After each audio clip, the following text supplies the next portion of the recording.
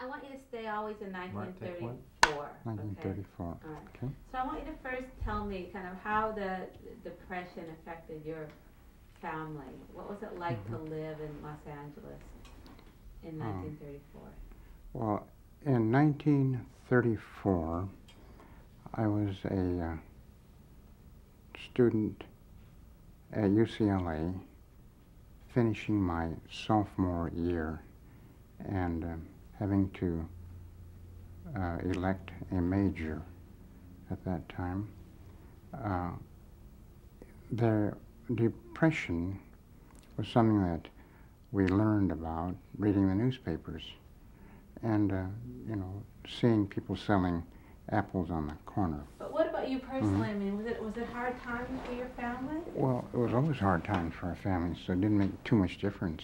We uh, owned a uh, fruit and vegetable stand, so we had enough to eat. And when uh, we sold that, then we grew vegetables in our backyard. But uh, I don't recall it being any harder or, or easier. Oh, I'll tell you what. Take two. Okay. Can you tell me um, how you first heard about Upton Sinclair? Yes, I first um, uh, was made conscious of him from those billboards in Barnsdall okay, Park. I'll ask start again, if that's okay. Instead of saying him, Yes. you say Upton Oh, all right, fine, all right, Start again. All right, fine. Just kind of put yourself, talk with, you know, Yeah. enthusiasm. All right. like, what you, you Okay. have a nice All right. laugh, and you're, Okay. you don't have to be All so right. serious. Fine. Um, Yes. start. Uh-huh. I remember Upton Sinclair from having read about him and re- having read his messages on those billboards that surrounded Barnsdall Park in Hollywood, across the street from the Los Feliz Elementary School where I had attended school uh, during the grade years. Um, I also read about him in the political science classes that I took at UCLA and became aware of the of what he stood for in discussions with fellow students and reading that I did uh, for classes. Okay, let's just go back to Barnsdall Park. If I was walking, in, if I was in 1934 and walking up to Barnsdall Park, what would I see? Tell me, like, were there a lot of signs? Tell me, describe to me a little. Oh, there, there were signs. Uh, Sorry, just- all right. You were, I was talking when you were talking. Okay. Okay. Uh, I um, remember Barnsdall Park as a place that we uh, called Olive Hill. It was across the street from the school that I first uh, attended kindergarten through the sixth grade. And um, it was a favorite place for uh, pupils who were allowed to cross street. Frank Lloyd Wright had built some homes there. We were aware of that. There were uh, places to play, playgrounds uh, on Olive Hill, and uh, it was a place that we were quite aware of all through grade school.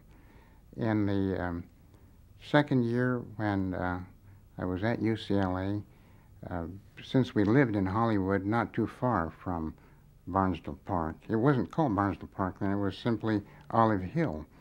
And uh, these um, uh, billboards sprouted all the way around. It was quite spectacular. You couldn't help. I remember spending time reading each one and going from one to another and was quite uh, impressed by it because we were now studying about what Upton Sinclair stood for. And tell me, what did the sign? What kind of things did the sign say? Well, EPIC stood for End Poverty in California. And uh, although uh, in our family, I, we didn't know we were poor, I guess we were on by any measure, but we had enough to eat and we had a roof over our heads.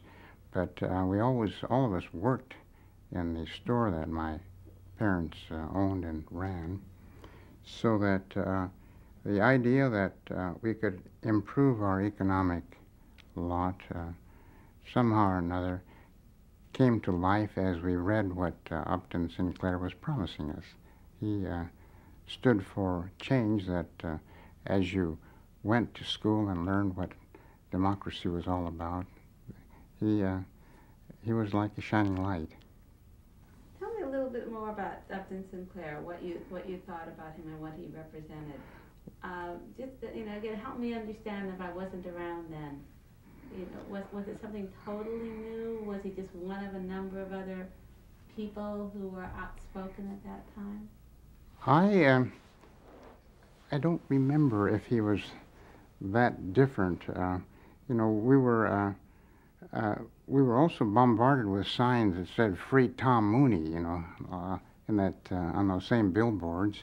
I later learned that uh, the lady who owned that hill was the heiress to the um, what is the Anaconda Copper Company, and uh, she apparently had uh, social concerns that uh, I think were pretty much expressed by Upton Sinclair in the campaign that he was uh, uh, conducting in in that particular year.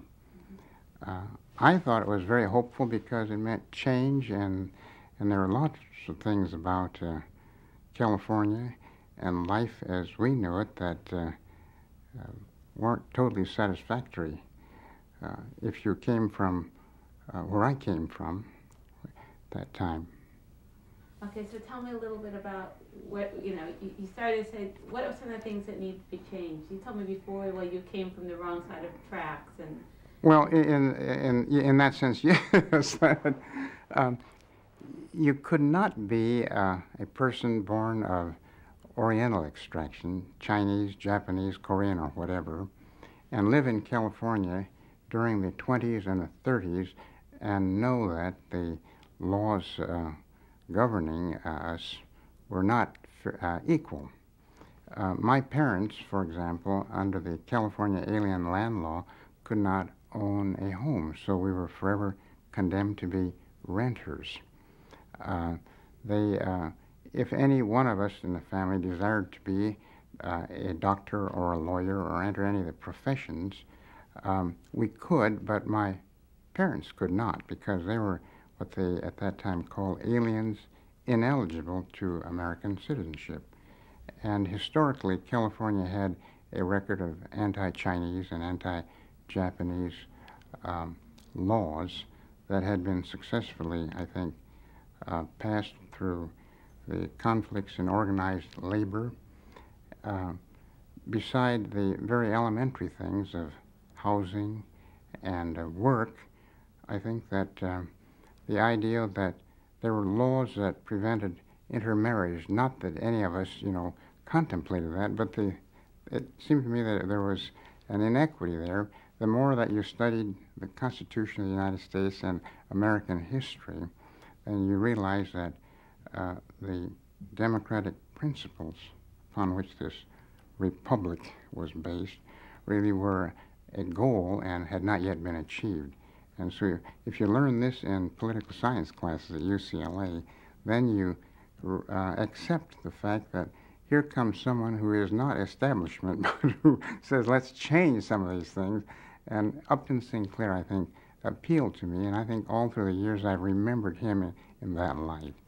Okay, very good. We stop this second. Okay. Um, you again, actually, to talk about some yes. of the discrimination and, mm-hmm. and, difficulties that you felt and how mm-hmm. you were looking for somebody that could represent change. I uh, uh, I remember Upton Sinclair as a um, political candidate who, um, to me, held out hope for change in some of the things that uh, I had become aware of in our society that were not equitable. so I welcomed his candidacy, mm-hmm. I think. Again, let's try this one. You, you, made, you, you, did too much of a summary. You could expand oh, a little I, I see. about oh, how yeah. it affected you. You know, mm-hmm. of, oh, of, yes. of, of, what you could not, or could or couldn't do, and how. So we understand oh, personally. You know, we remember how we sometimes forget what it was like. We, well, uh, for example, we always lived in a rented house, and my friends at school lived in homes that their parents owned. And when I raised that question of my own parents, they said that the laws forbid them from owning a home. And so in school, especially when you got to college, or in high school when you attended civics classes, and you read the Constitution and you looked for anything in the basic laws of the land that said, why should my parents not be able to own land uh, when or a home when my friends could? Uh, you found the answer in uh, such legislation as the California Alien Land Law, and so when you become aware of that, even as a teenager and a student at college, then when someone like Upton Sinclair comes along and says, well, I will end poverty in California, but I also will uh, bring about an improvement in a lot of uh, these citizens, that appealed to me. We ruled out that when he got up and. Okay, so we have to Mhm. change our, our.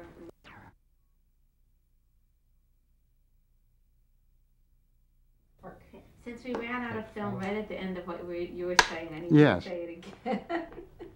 okay. But tell me again, Mhm. like, what did Sinclair represent to you? When you, when you started listening, you, you, you, you, you know, heard, you read some of the literature, you saw the signs, right? Yes.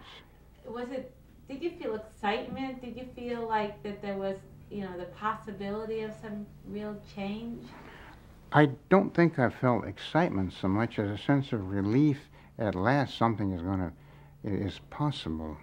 I think that uh, uh, in, in our family, my father had taught us not to expect too much in this country. I don't think he ever wanted to stay here.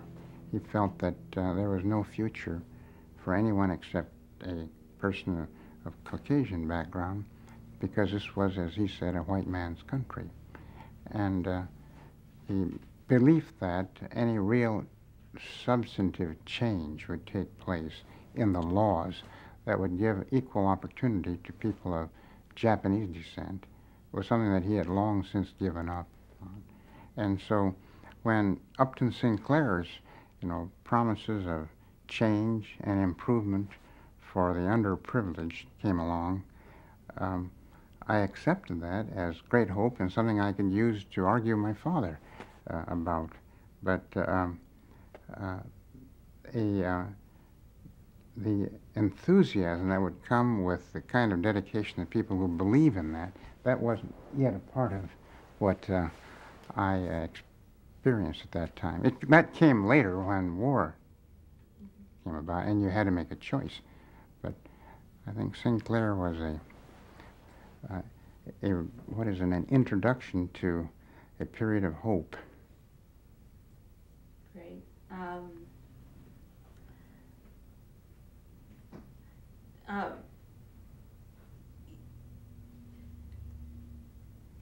you said that um, I mean, how did you you knew about him through mostly through the signs of Barnsdall Park or did you read Oh, I did a lot of reading, and I used to read everything in sight. Um, when I uh, worked in the fruit stand for my parents, you know, our customers would give us uh, discarded books and a lot of these paperback, you know, popular mechanics and Western stories, and um, and newspapers because we wrap vegetables in newspapers. But the magazines I always put aside, and I read all of them. And we went to the library, but. Uh, and I read newspapers. We had six, seven daily newspapers in this city. And you read about, uh, I began to clip things about Upton Sinclair. And I also, uh, I, I think, uh, discussed with friends. But the uh, introduction to it came from those signboards. I remember those very vividly. okay so you need to tell me once again about seeing the signs because there was a little Mhm. problem Oh, sure. so tell me again That's about right. it was, oh, Well, Olive Hill you eh, Olive Hill, right. Uh, Sorry, can we cut for a second? I need you to, uh, Mark? Give me one second. Um, wait wait all right.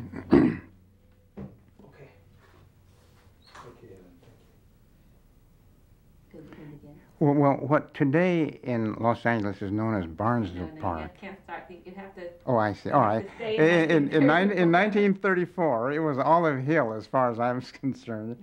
And I had gone to grade school from kindergarten through the sixth grade at Los Feliz Elementary School on Hollywood Boulevard uh, between New Hampshire and Vermont. And uh, Olive Hill across the street extended um, oh, many blocks from Vermont all the way to Edgemont, uh, and then south to Sunset Boulevard, and then again east to Vermont and up. It was, it was a tremendously large from uh, plot of land, and uh, I think I did sense uh, a great deal of of uh, what is it? Not only surprise but delight when I read the the signboards uh, set around that entire uh, Olive Hill, um, advertising Upton Sinclair's candidacy to end poverty in California. And I remember that very vividly as one of the things about um, Hollywood where I grew up. right, and, and Mhm. so these, these signs were surrounding all, the whole area, right? Yes, How many signs do you think there were, twenty? I. Oh no, there must have been much, many more than twenty. I, I, I don't know. All I remember is that they, they were there and you read them and people um, couldn't help but see them. And I can't remember whether Free Tom Mooney was before or after, but th- those lasted much longer. Uh-huh, so it's like one big block long Yeah, yeah, right, yes. hmm Yes, they were. Um, can, um, what did the, you, you had a good friend that was, uh, you know, the son of, of one of the editors of the LA Times. Right. Um, he- What did the LA Times represent at that point to you, and did you ever have disagree, you know, did you, Well, the Los Angeles Times was a very stodgy, staid uh, newspaper that uh, probably uh, represented in a very dignified way what the establishment stood for. This was a white man's country. It was uh, uh, the uh, feeling toward people, you know, who were from the from Asia. Um, was not expressed as vocally uh, or as, I think, obviously as in the William Randolph Hearst newspaper, the Herald and the Examiner. The expression yellow peril appeared less often in the Times than it did in the Examiner or the Herald. And the people who wrote and the cartoons that appeared too were not as uh, openly racist, uh, we would call that, them that today. But uh, the Times was not the most influential newspaper, as I recall, in those years. The uh, Hearst papers were more, and I believe they had a bigger circulation. Okay, did you read the book, ever read the book The Jungle, Sinclair's book? The which one? The Jungle, did you ever read? Oh yes, yes I did. I certainly did. Yes, that um, I. Uh, Was that the first time you ever heard about Upton Sinclair, was reading that? oh no, no, no. Uh, that was that came in the course of uh, some poli sci classes at UCLA. Mhm. Okay, um, uh, you had said, um, in school that you used to write, have discussions and write papers about the campaign. Do you remember at all any of the kinds of discussions you had with other students? What the Well- may have been?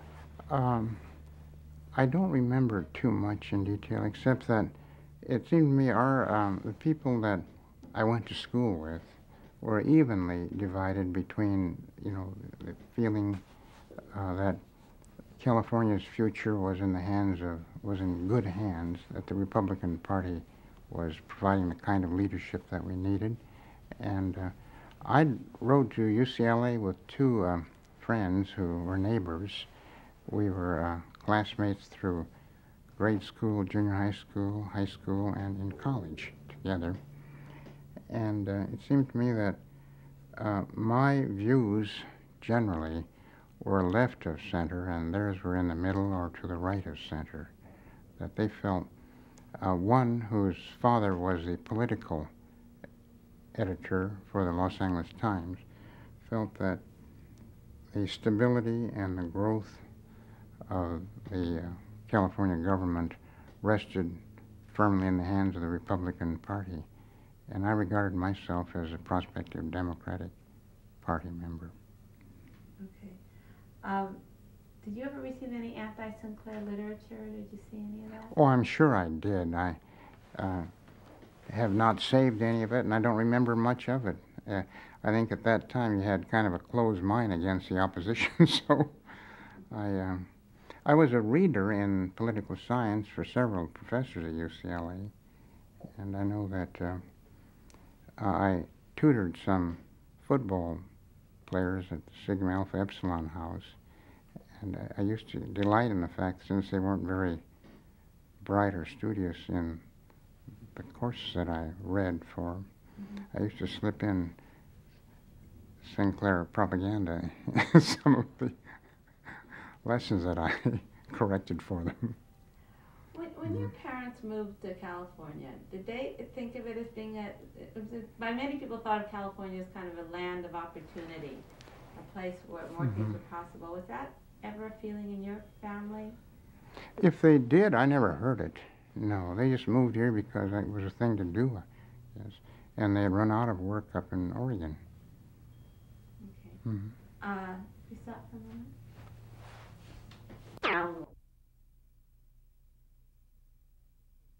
Uh, no slate was marked for this next take. I think it's just roll out. Okay. hmm Uh, you stop for a moment? Out loud. Oh, oh, I see. Oh, Okay. All right. So, All right, this is take six, uh, audio only, uh, wild track. okay, so tell me about the newsreels that you saw. Um, I used to go to all of the cowboy western movies, you know, like Covered Wagon. Uh, this is in the uh, this is in the twenties as well as the thirties, and um, that was our chief form of recreation. So newsreels, you know, Fox Movietone News, I think that was uh, one. Uh, there were a number of them that they usually uh, they were like a preface to a book, you know. They, they showed those first, and then you saw the, the main feature. And um, I remember in the um, 1934 when Upton Sinclair was pictured as a menace to uh, stability and law and order in our society. And the fact is that if you voted for him or if you campaigned for him, he was um, going to bring in chaos and the unemployed would flood California. That um, would, everything short of a Bolshevik or a communist. That this is what Upton Sinclair and his so-called campaign to end poverty in California stood for. Then when we did see them, I was. It could very well have been because I found myself suddenly a minority of uh, people around there were cheering and applauding, and I thought that they had turned up the sound for that portion. And I'm in, in view of what I think uh, we do with television these days. Commercials get turned up more. I think that's what they did in those uh, movies. And what do you think about those? I didn't care for them particularly. I was wish that they would get over with them as quickly as possible. But you ran into them everywhere, and you knew that uh, someone was able to pay for those. Okay. Um, okay, very good. Okay, Great. all right. run some tone? Yes. Yeah. Okay, now what we're doing is, well, you've been, Mhm. I've been with Janice Mhm. as well, room tone. All right, uh, we're just gonna yeah. call this Sound room of tone in, Oh, uh, I- I in see. Westwood. Okay, everybody get comfortable for 30 seconds and. And we're rolling. Second six, yeah. Marker. Okay. Let's start off by, um, if you could tell me uh, where you were in 1937, what you were doing that, that year. I lived in Glendale, California. I take it back. I lived in Hollywood, Los Feliz, and Vermont. Uh, I moved to Glendale the following year. I was working uh, full time as an English editor of a daily newspaper called the Rafu Shimpo, still being published here in Los Angeles after 90 years. But uh, uh, I had um, received a degree from UCLA in political science and had gone to work in my senior year for the Rafu Shimpo. So, one of the things we're looking at in this film is um, the economic climate in, in the end of the decade there in Mm. 37 and 38. And there were a lot of reports that everything was getting Yes. better and the Depression was over. And I wonder if you can tell me what, what it was like for you at that point. Were things getting better economically for you? Um, I always thought that every new job that I had, I improved my condition. While in school, I worked uh, 12 hours on Saturdays at the Hollymont Market for $3 a Saturday. And uh, the job at the Rafu Shimpo paid me, I think, $65 a month, plus three meals in the commissary, you know, of the newspaper. And um, as I look back, it never occurred to me that it was, you know, hard times. It was enough to eat. We had a roof over our head, paid our rent, and I took the streetcar down to the, the job every day, and I enjoyed it. Did you see a lot of hardship around you still, or Yes, yes, it did. I saw people on street corners selling apples. I read about it in the newspaper that we were in a deep depression, that there was uh, unemployment. I think about that time they talked about a bonus march to Washington, D.C., and you couldn't work for a daily newspaper reporting what was happening in the city, even though this was an ethnic newspaper, without being aware of the fact that there was a worldwide depression. Times were hard. Uh, the government in Washington, D.C. had started out by declaring a bank holiday, and uh, we knew that times were hard. Uh, I think uh, while the wage scale was such, I think I remember at that time we quoted the fact that if you were a manager of a Safeway store and earned um, enough to support a family of four, two children a couple, and if you got $125 a month, that was going scale. Uh, the dollar was worth a great deal more in those days, and so you didn't get as many of them. But uh, we were in a depression. And what little economics I'd studied at UCLA, uh, I had learned that in the early days in the 19th century, we didn't call it a depression, we called it a panic. And then in the uh, 1930s, newspapers picked up the term depression, and that's what we were suffering. I wonder if you can help me understand a little bit what kind of opportunities there were for Japanese Americans. Talked Um, on the phone a little bit about some of the Yes. obstacles. So can you talk to Well, it was a standing, uh, wasn't a joke, it was kind of ironic, but the most successful entrepreneur among the Japanese Americans, I think one of the more successful in the Los Angeles area was a man named Susumu Hasuike, H A S U I K E, Japan born, but he had had the uh, drive to uh, not only own one fruit and vegetables uh, store, but he had a chain of them. I don't remember how many he had at its peak, but it ran into several dozen. And it was said that if you got an engineering degree at UC Berkeley, they weren't handing out those degrees at UCLA, uh, you could get a job polishing apples and stacking potatoes for three-star produce, that it wasn't unusual to go to um, a uh, fruit stand and discover that degree. In my own case, I was uh, offered a uh, scholarship to the University of Missouri in journalism, but it was just for uh, the tuition.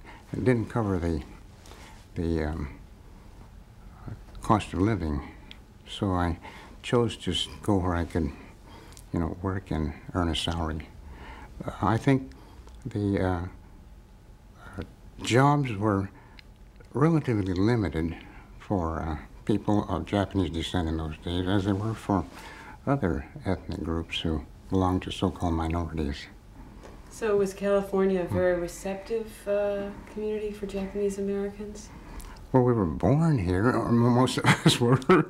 So I think that California had a long history of anti-Oriental political agitation. The uh, organized labor, you know, first because when the Chinese were brought in to build the railroads, I think successive waves of Asian immigrants all ran into the same thing, same thing that Southern Europeans ran into in New York and, and on the East Coast. I'm going to have to interrupt you, and I want to pick up Mhm. that story where we were we run out on this roll. Oh, sure. So I told you it might be a little All right. short this All one. right. Get you five Yeah. minutes to warm up, and then we'll uh, we'll uh, give you a full ten minute roll. One second. Speeding. Okay. We were talking. You were in the middle of telling me about uh, the situation in California for Japanese Americans and whether you felt Yes. welcomed here. I think uh, during my uh, student days at UCLA, uh, Let, let's hold for a second. Oh, yes, Helicopter. Oh, your helicopter. Okay, let's uh, Uh, start where we, All right, we were before fine. about Mhm. California and whether or not it felt like a receptive place, like a home to you at that point. I, uh, if you lived in California in the 1920s, so I've lived here since 1916, so, but um, you knew that you were not really a first-class citizen on an equal footing with other, you know, classmates. Um, one, it wasn't just the economic uh, difference. I think it was more a question of knowing that uh, customs that were, you know, cast in concrete here. I remember um, the first time I walked down here into Westwood Village to get a haircut. I was a sophomore at that time, and uh, I was told that your hair is different, so go to a Little Tokyo. Uh, that, that was not an uncommon experience. See. If you went into uh, good restaurants, couldn't afford them anyway, but uh, you know, uh, you usually might be seated in back. Now, this might not have been that common an experience, but I think it was in that for most people who were visibly different. You know, if you were black, we didn't say black in those days, you were a Negro, or they used other or uh, Japanese or Chinese. There weren't many other Asians, but I think the Japanese and Chinese bore the brunt of the early anti-Oriental, you know, feeling just generally. I think most noticeably, and I ran into this on graduation from UCLA and uh, attempting to buy a home.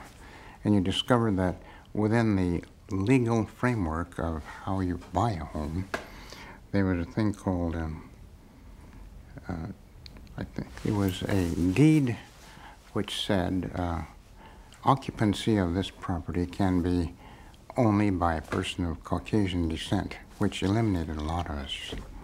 So I think in those ways, later as I became an English editor of the Rafu Shimpo and discovered that literally in Little Tokyo, I had never lived in a segregated racial community until I began to work for the newspaper. My parents had always lived in, you know, we had the worst house in a Caucasian neighborhood, you see, or uh, they, uh, my exposure was to customers of my parents' fruit stand, and the, in the course of a day, if I talked to a hundred people or waited on them, and often I did more than that, there might uh, there probably would be not a single Japanese person. But um, uh, the discovery that in a way we were hemmed in in a ghetto because there's so many laws and rules that said you cannot do this and you cannot do you cannot be licensed as a lawyer or as a doctor uh, or as an accountant or in, in the professions because there were uh, restrictions based upon your race. And that was pretty much um, typical um, I think it was accepted by the first generation Japanese, but not so by the second. Did that affect the way you, um, the way you felt about um, your citizenship here? Did you feel at home here? Did your parents feel at home here? My parents never did feel at home. I think my mother did. she accommodated whatever had happened. And she was, um, uh, I think, um, uh, I don't think she was baptized, but she accepted Christianity and, and sent her children to Christian Sunday school. My father, uh, who uh, took refuge as a Confucian scholar and background was Buddhism, simply said that this was a white man's country. There's no place for me. If he had ever been successful in business or otherwise, he probably would have taken us all back to Japan. But he was not a businessman, and so he could never afford to. So he's really put up with it. How did you feel? You were in the late 30s. Oh, How did you feel about I, your, your Um, place in this country? Well, you know, uh, I had very dear and good friends at school. Uh, one friend I lost this past year, we have known each other since we were in the third grade at Los Feliz Elementary School. That's a long time. And um, I, I would say most of my friends, all of my friends in the school days were not Japanese. I feel very much at home. It's very much part of it. And um, I think in 1923, when Japan had that very severe earthquake, and my father had brought me up to believe that you, you could never get a square deal in dealing with anybody who was not Japanese. But I remember taking a shopping bag and walking all over Hollywood, collecting donations from people to help people who were made destitute by that earthquake, and uh, brought back a lot of money, bag full of coins and bills. And I began to question my father. If they're all that bad, how come? you know, he began to feel that uh, much of what he was saying applied to him, but not necessarily to his children. So was there a sense Mm-hmm. of uh, dual allegiances at all on your part? Oh, I think so. Yes, very much so. Can That, uh, that? well, you know, uh, uh, it, I think it was kind of funny when I, I read a great deal. I went to the library constantly, and um, I remember one year we were to. Um, he's, you know, the idea of putting a bookmark with your name on it, and. um I think my father's influence showed because I looked at some of those early bookmarks and I had carved a Japanese sword and then my name. And I put that in a book. And I thought that was kind of, as I look back on it in later years, that was kind of funny, but it, it certainly indicated that my father came from what they call a samurai family in Japan. He was very proud of that. And uh, I, uh, I know one of the greatest disappointments uh, that he expressed to my wife was that when he was uh, getting older, he asked me would I like uh, his collection of swords uh, or his books. And I made the comment, what would I do with the sword? Cut cheese with it? I mean, you know, he, that, that to him was blasphemy. He left me his books, and he left my wife his swords. but the books, I can't read them, so I gifted them to the UCLA or you know, Asian American Studies Center, or to, uh, I think some went to the Japanese American Museum. I wish I had learned to read Japanese. I, I never did. Mm. We talked on the phone a little bit about the kind of uncertain citizenship status that existed among Japanese Americans. I wonder if you can can help me understand that and, and how it affected your Well, family. I was typical, I think, of those who, um, when I was born, I believe my father, I was born at home in Portland, Oregon, and my father, a year or two later, I think, registered me as a uh, Japanese subject. That they did that in Japan. So I was, uh, uh, I, but I, by virtue of having been born in the United States, I was an American citizen. And uh, at the outbreak of, or before the outbreak of war, we were made conscious of the fact that um, if you had dual citizenship, you were subject to the laws. If I were in Japan, I'd have to serve in the Japanese army. In this country, I'd be eligible for the draft. And uh, that was my situation when, be- just before Pearl Harbor, uh, when my wife and I married, I re- renounced Japanese citizenship.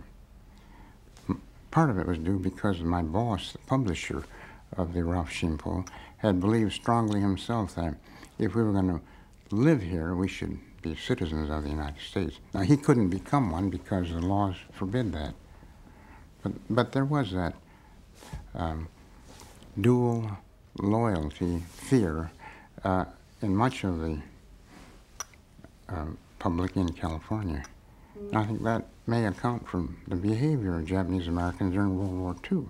They were out to prove that they belonged here. So, Uh, talk to me about what happened uh, to you um, during Pearl Harbor. Start, start if you could by telling me where you were when you heard and what happened. To you. Oh, I was home in Glendale, uh, and it was Sunday, and I had this call from my friend uh, who was on the staff of the Los Angeles Examiner, Magner White, and he called and said uh, the Japanese are bombing Pearl Harbor. And so my immediate reaction was, well, I'll have to go down to the newspaper and put out an extra, which I did.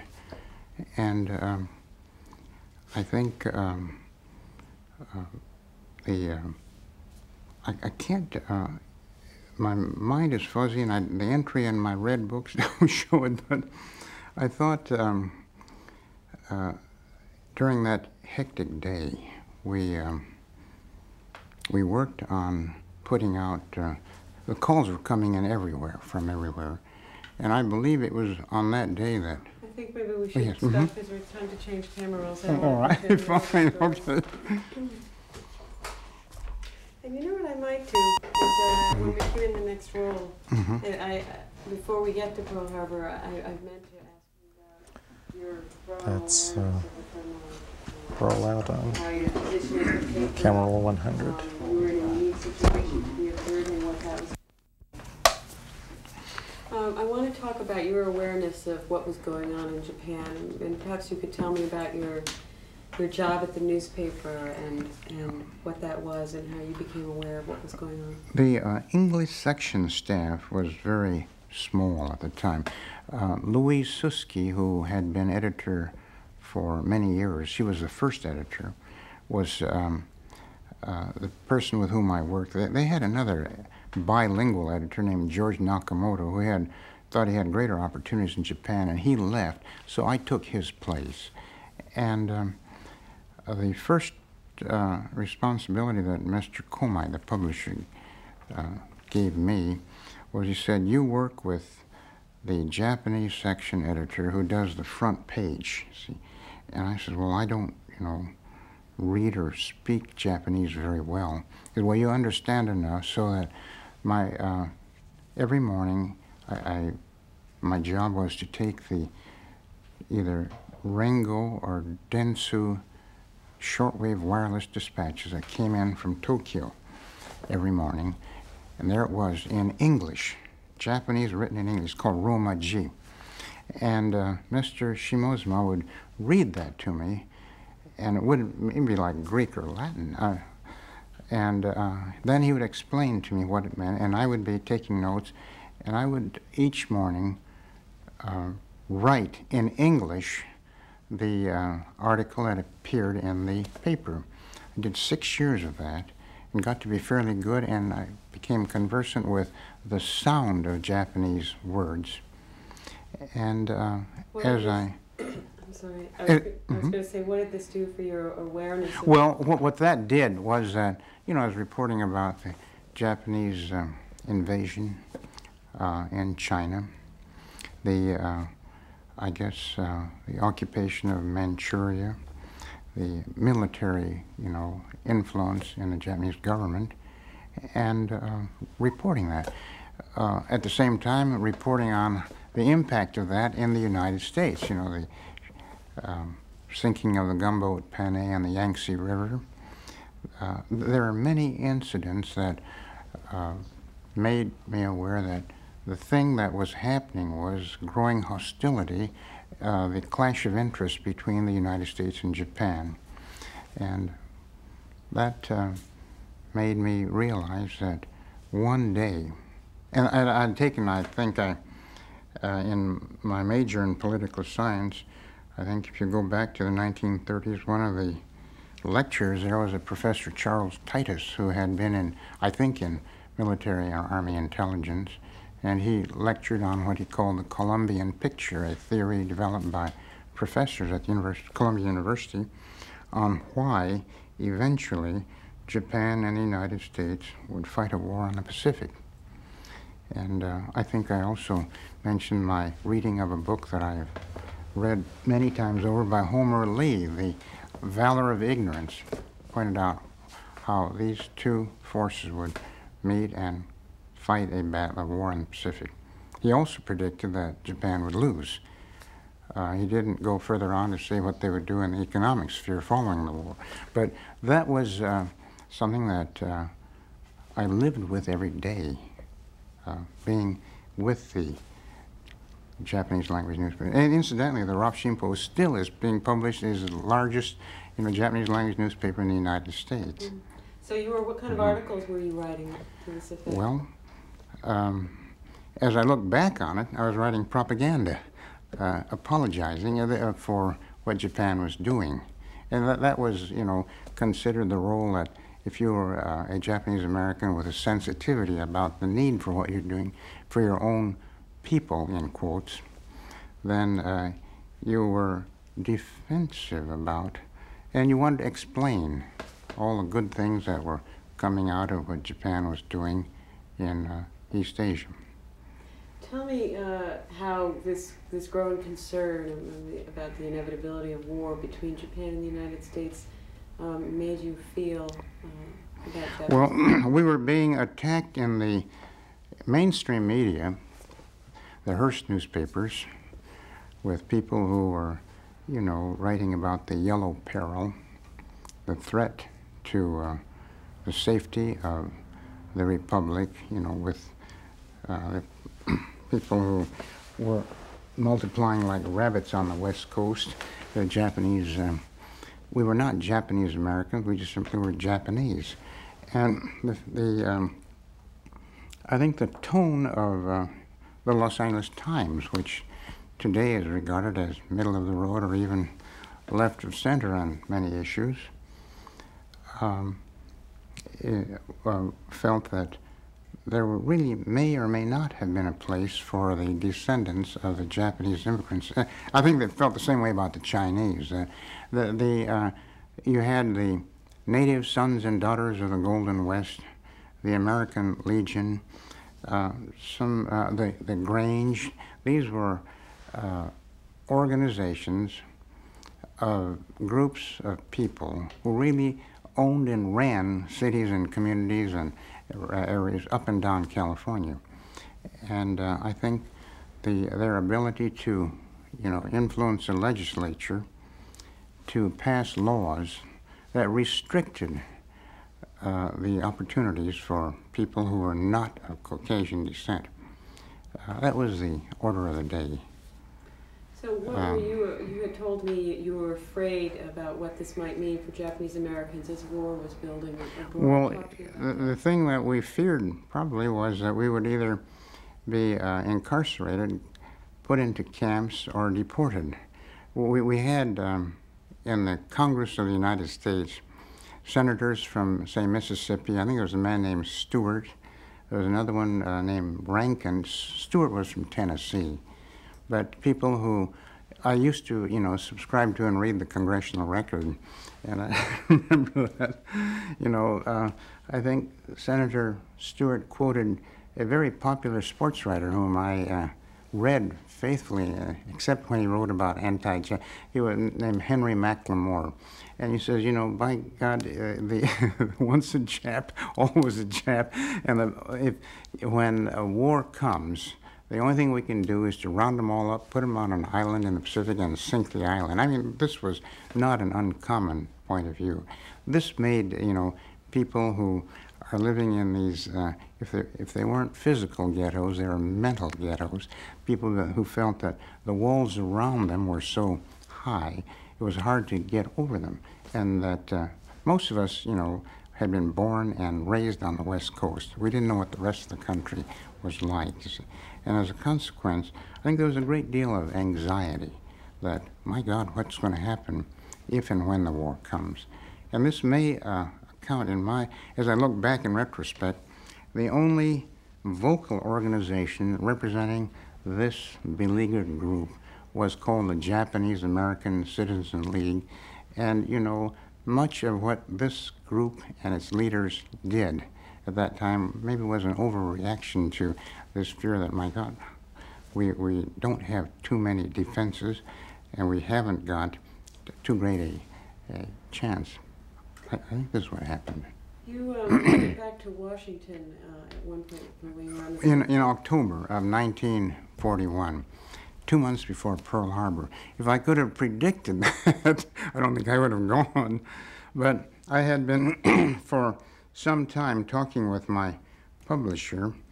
Uh, I had, I think, in, in 1939 and 40, uh, created some real problems for the business office by, uh, in my, uh, I think, uh, eagerness to fight against discriminatory practices, I had picked up a quotation from a San Francisco publication called the Newsletter and Wasp.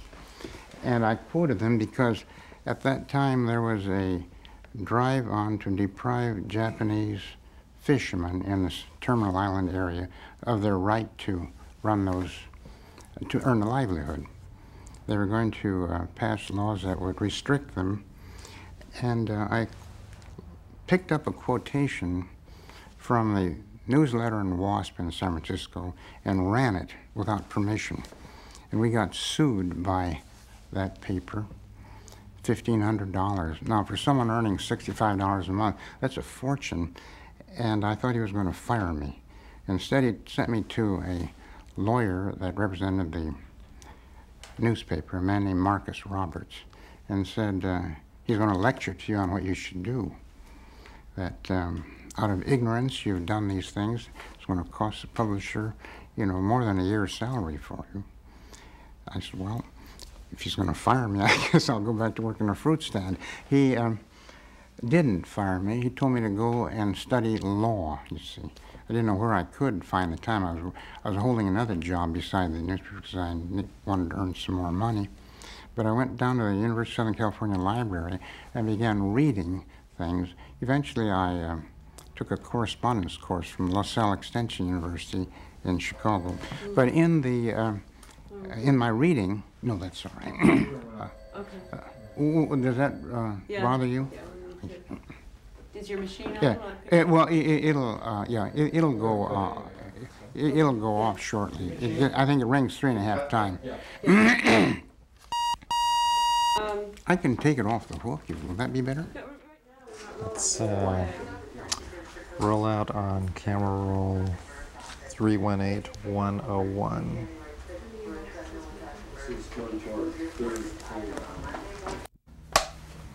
So if you can just start by telling me about what you did in October of 1941.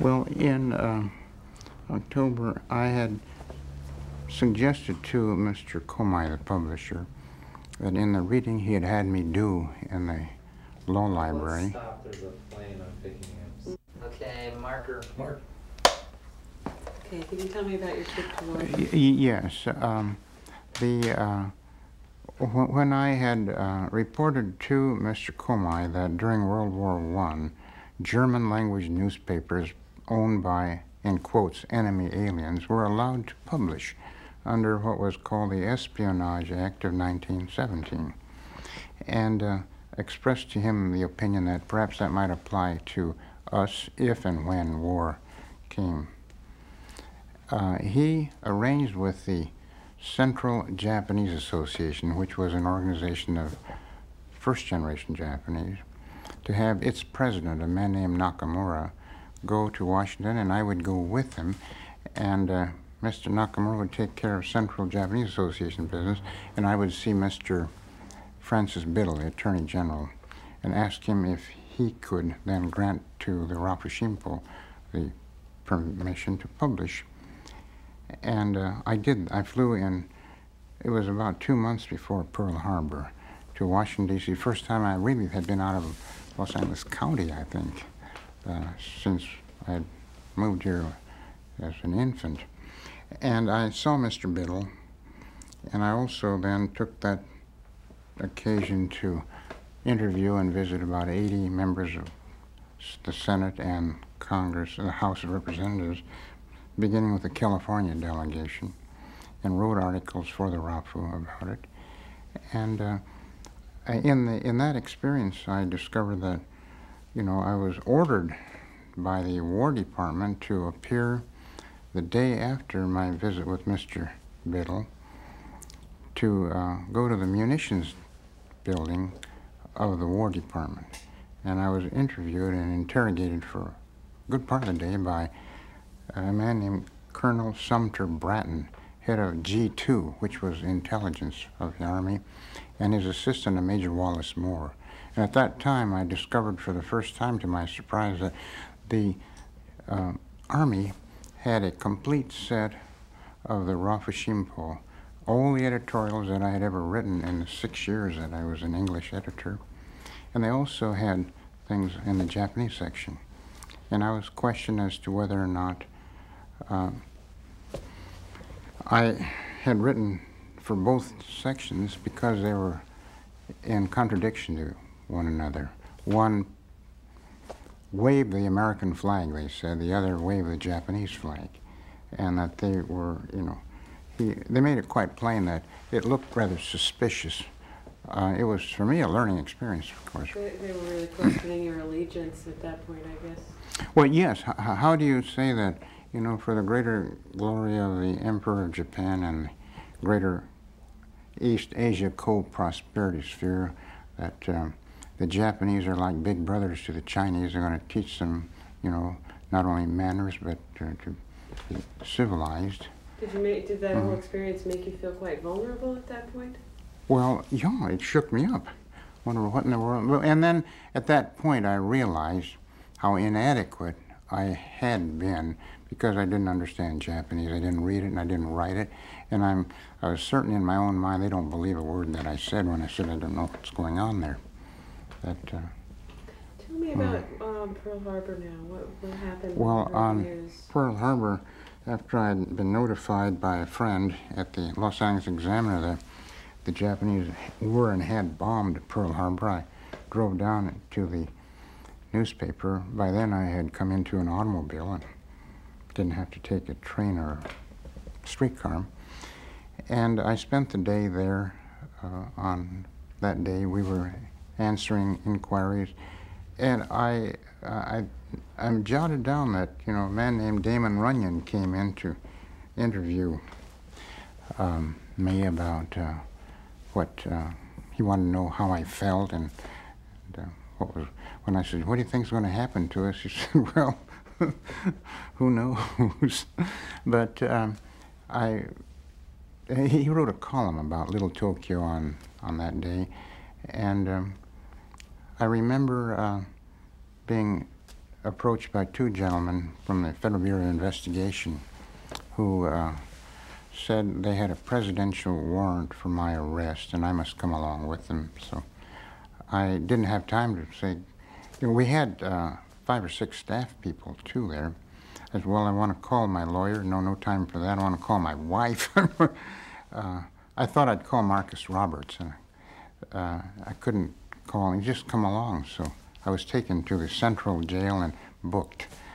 And uh, they fingerprinted me, took my picture, took all of my things, and I was put into a cell with, uh, there was a young Mexican who um, said, what are you in here for? And he said he was, had been uh, taking and selling drugs. But he, he carved a little uh, crucifix out of a toothbrush handle and gave it to me. I carried that for years. The other man was, I think, he said he was a German, but, but I think he was a, or a Russian. And I said, "Why are you in here?" And he says, "Well, there's this Jewish, you know, restaurant I've been going to for years, and every time I go in, I've been saying Heil Hitler."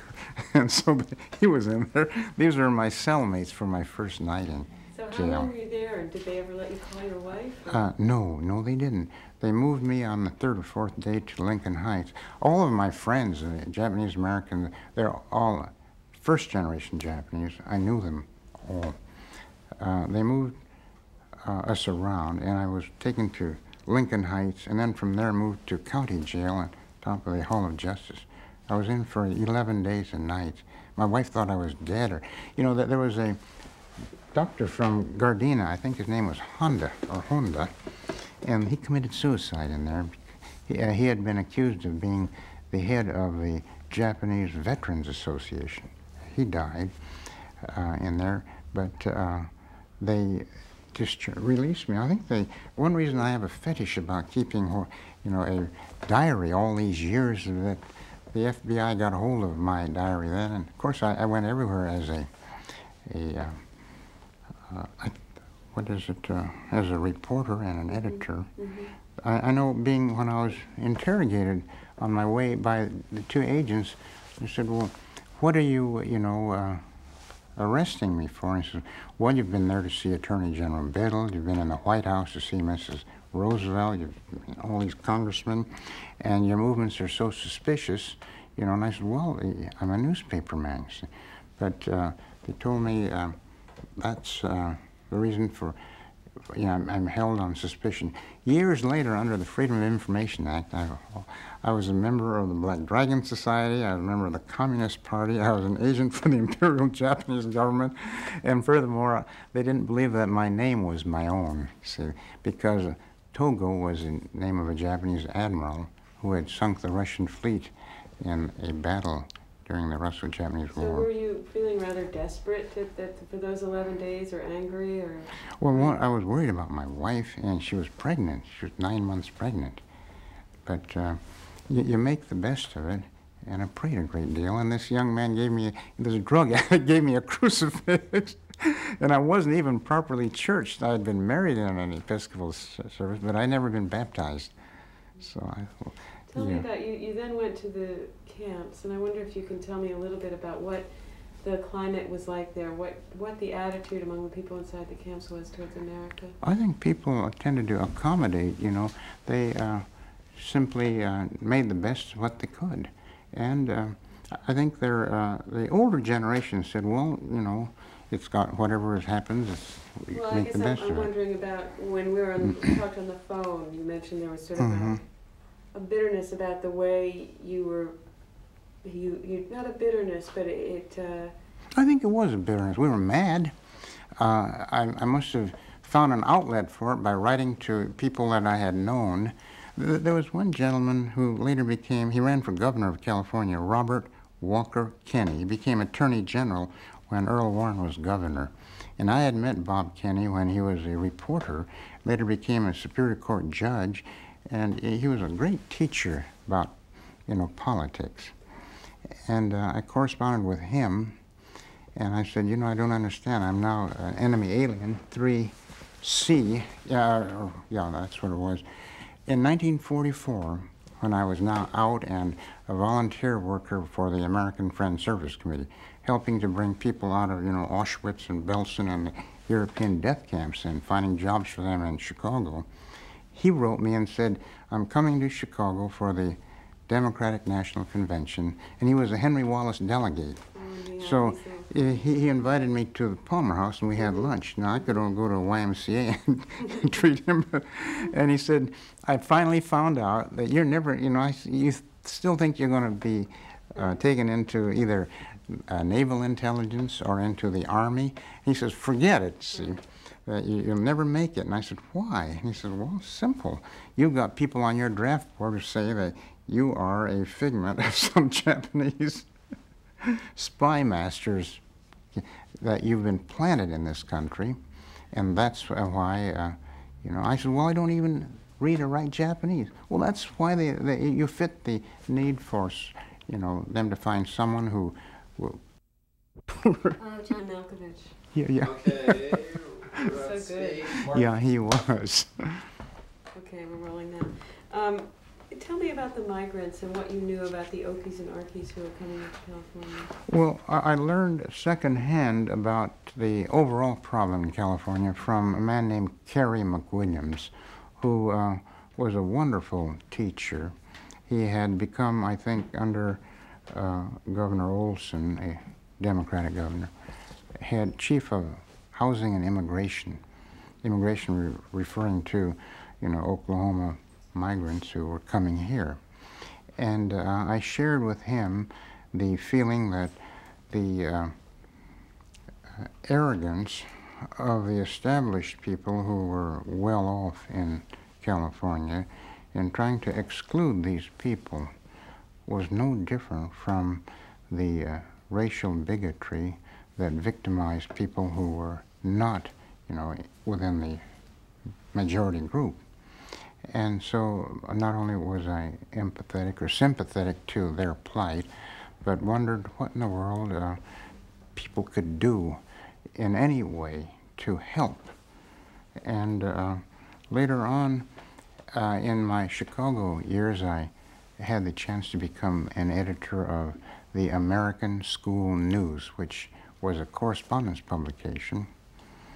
And I've met many, many people from Oklahoma in that. And I found that, you know, uh, I had always felt deprived because of my race. And yet I had the ability now to help, you know, thousands. Actually, there are several hundred thousand of these students around the world, but in the United States, who were deprived of a decent education. And so I felt that it was an interesting topsy-turvy kind of world where you had an opportunity to use what you had to help others. And I think the plight of the Okies, uh, you know, we, uh, the chief of police of Los Angeles had uh, patrols at the border to turn these people back or in every way. That, um, and so, you know, when I mentioned the uh, John Steinbeck's book and the movie that was made of it, I think that helped to enlighten people about uh, the 30s and what uh, the economic plight. And you're, there are examples of that today because we have the same kind of problems on a bigger scale. Um, you uh, uh, went to the fair, I know, and I wonder if you can tell me a little bit about what it felt like that was all about to you. My recollection is, uh, like everybody else, uh, somebody said Sally Rand might be there from Chicago. no, I, uh, I uh, well, I that was my first World's Fair in uh, Treasure Island, San Francisco, and um, uh, I was impressed by the foreign exhibits, but it was nothing like subsequent fairs that I have been to. But I think it was California's effort to begin to dig itself out of the economic depression. And uh, that kind of attempt, you see it even today, you hope that it succeeds. Uh, I wanted to, to go back and just ask you again about um, the Panay. If you can describe for me again the, how you felt the night you heard about that and how you heard about it. Well, uh, I think my first reaction was one of disbelief that it was a flagrant, you know, uh, demonstration of the uh, what the Japanese military were intending to do. I think they were flaunting and looking for, you know, some reason. But uh, I uh, went uh, dutifully to uh, try to give the Japanese version of of why it it happened, the, the meddling um, by the United States, that if you get into a war zone, you might get shot or you might get sunk, and uh, I think it was the uh, cries for boycott of Japanese goods and uh, the anti-Japanese feelings that that engendered, you know, just generally in California and in Southern California, uh, I think spread a feeling of uneasiness among uh, people who were Japanese American readers of our newspaper. Um, I want to ask you to, to kind of reflect now Mhm. on, on these years. We've talked uh, we've talked a lot about some of the um, citizenship rights issues, and Mhm. and I wonder when you look back on them, how do you how do you think those years shaped you or, or your attitude about um, this country? I think we've, uh, with all of the things that people say may be wrong with this, you know, my wife and I have visited, by last count, 43 countries around the world. But since then, we've been, um, we've been all over the world. We've met people. We, we visit with them in their homes. We uh, love to travel. Um, with all the things that are wrong, uh, I think that, that, you know, we talk about the goals in our Constitution and Declaration of Independence and the Bill of Rights, and these are, there's nothing static about them, and the fact that we have not been able to, you know, fulfill uh, those goals, uh, it's, I, uh, each time we come home to, this is home. Whatever is wrong with it, we prefer to be here to any other place in the world. And, and uh, we have, I think, a lot of friends who feel exactly that way. You mentioned the Bill of Rights and the Constitution. Do you think all of those those kinds of rights were something was something that was being tested and pushed and explored during the 1920s? Always has been and may still be. Can you talk yeah. to me about that? Well, the um, I, I served on the board for a few years of an organization here called the Constitutional Rights Foundation, and we observed the bicentennial of it, I think, last year. I no longer am on that board. And in, you know, for about 45 years, I've been a uh, recipient of the Lincoln Foundation's publications. And a few years ago, after you know we had been enraged for all these years about what had happened to us and the violation of our civil rights, I learned that the great emancipators suspended the Bill of Rights in order that the Union could survive. We, and uh, if it's a question of survival, what choice do we have? The fact that we happen to be on the wrong end of the thing made us, you know, uh, victims. But had we been sitting where the people who had to make those hard decisions were, we might have done the same thing. But uh, ultimately, um, I think uh, justice does prevail. And uh, one of the other things I think that kind of went on during that Mhm. period were there was a reexamination of the rights of poor people and how to, what our Mhm. attitudes towards the poor were. And I, I wonder if you've given any thought to that when you think about the Okies or the migrants. Well, when uh, I had the privilege of working for the and with the American Friends Service Committee in Chicago for, I guess it was 1943, four, uh, up to five, so about two and a half years. Every morning, see, I, I'm, I was not a, I'd never been a, I, couldn't be a Quaker because I didn't feel I was good enough to uh, ad- adopt their principles. But every morning, you know, they, we'd hold hands in a circle, the whole staff would be, and um, they would pray in their fashion, whatever came to mind, you see.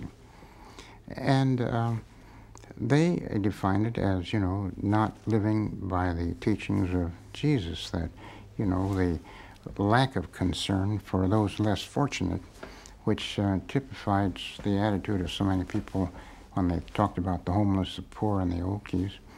And then I remembered we were rescued in the very depths of the worst uh, experience we had when we didn't know whether we were going to have to go back where they wanted to kill us or how, or were they going to deport us to Japan.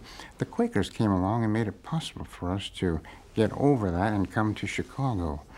And um, they were the first people who were welcomed on both sides of a battle zone. So we, uh, and we look back and uh, members of various Christian church groups did a great deal to salvage and to save, you know, us. Uh, why shouldn't we do the same for others? And I think this is one of the lessons that we learned out of our evacuation experience. You talked to me a little bit about um, certain values that you thought you developed during the Depression years. What, what were they? Well, you die very hard. you don't you don't give up, and that uh, whatever the obstacles may be, um, you do not lose faith.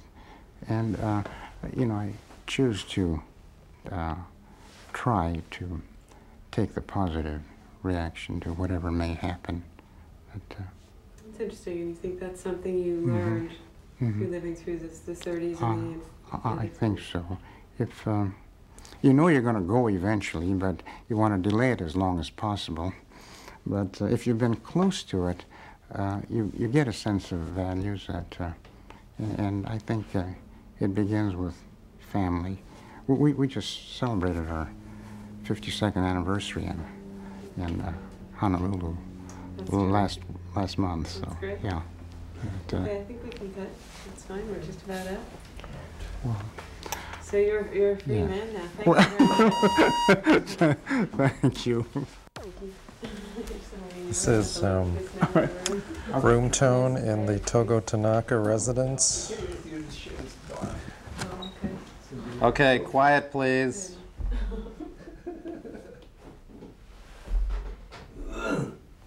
Mike.